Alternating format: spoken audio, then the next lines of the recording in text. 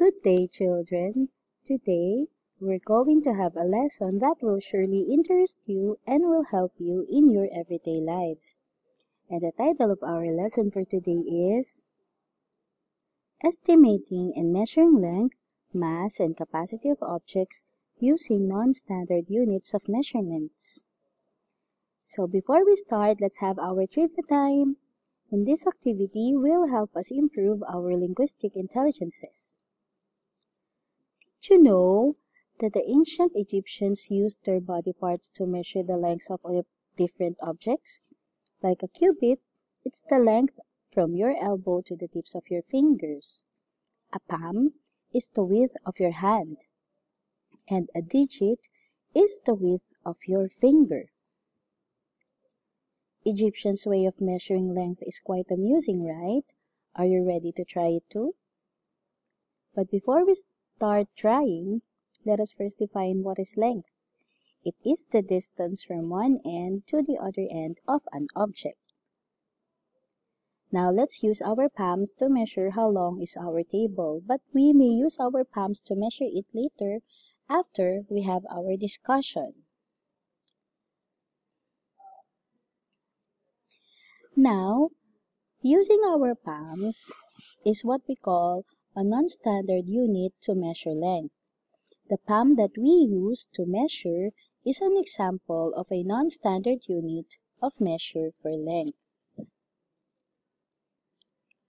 There are other examples of non-standard ways to measure length, like paper clips. The chocolate bar is four paper clips long, just like what you see in the picture. Another is your eraser. The notebook is four erasers long.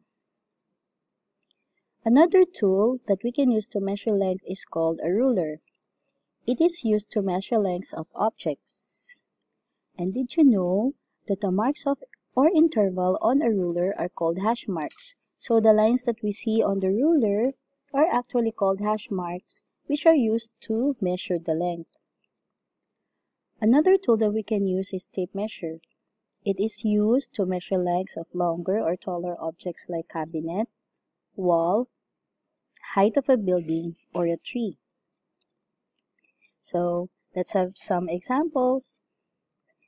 Now we are going to find out the length of each, of each object. Each bar in the graph is equivalent to one unit. So as you can see here, there are bars, and each bar is equivalent to a unit. First is a carton of milk. How many units? Very good. Six units long. Next is the rubbing alcohol. How many units long? Very good. Five units. And now let's go to mass. Let us study the picture below. Who is heavier and who is lighter between the, the two children? Let's see. Good thinking. Who is heavier? Odette is heavier than Lila. Who is lighter? Lila is lighter than Odette. How did we know? Yes, by just looking at where the seesaw is directed to. Like here, the seesaw is downwards towards Odette, meaning she is heavier than Lila because the seesaw is lifted on Odette's part. Next, what can you say about the students playing in the seesaw? Ben and Anna. You're right. None of them went out, or none of them went up or went down. Ben is as heavy as Anna, and Anna is as heavy as Ben. So both of them just have the same weight or mass. How did you know? By just looking again at the seesaw because the seesaw didn't move and stayed on the same direction of the two children. So, because of that, we were able to find out their mass. So what is mass? This is the weight of an object. It tells how it tells how heavy or how light an object is. So let's look at the picture. How many watermelons do we need to measure Ben's mass? Let's count. One, one, two, three, four, five, and six. Let's see. Impressive. Ben is as heavy as six watermelons. Let's have some examples. The box of crayon is as heavy as blank blocks. So children, as you can see, we use blocks to measure the mass of the crayons. And the answer is, the box of crayon is as heavy as 6 blocks. Very good. Next, the bag is as heavy as blank oranges. How many oranges do we need to measure the mass of the bag? Let's see.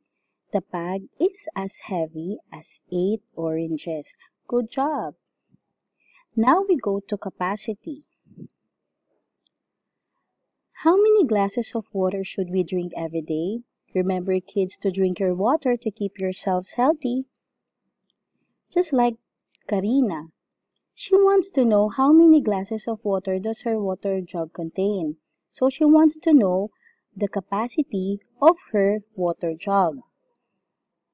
Now what is capacity? This is the amount of liquid a container can hold. So in Karina's case, how many glasses of water are there in Karina's water jug? So let's count the glasses. One, two, three, four, five, six, seven, eight. Let's see.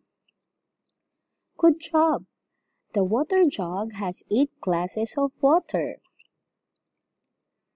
Let's have some examples for capacity. The ball has blank cups of water. Let's count the cups. One, two, three, four. Let's see. Very good. The ball has four cups of water. Good job.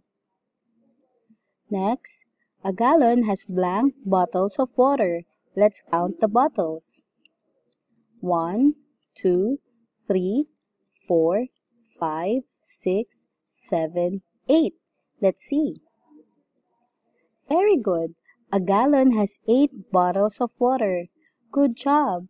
Now, children, we were already able to know that there are ways that we can use to estimate and measure the length, capacity, and mass of things by using everyday objects that we see or the non-standard units of measuring them. And now to practice more, let's go back to our Genyo.